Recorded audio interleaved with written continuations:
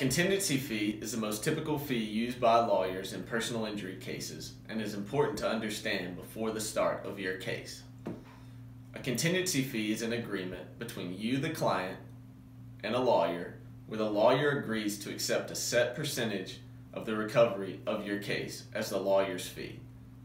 The recovery in a case is the final amount paid out to the client at the conclusion of a case.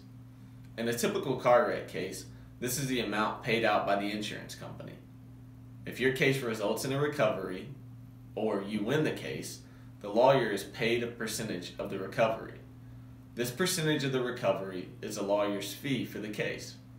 If you do not recover in your case, or you do not win, the lawyer is not paid for working on your case. When a contingency fee is used, your lawyer is only paid if you win your case.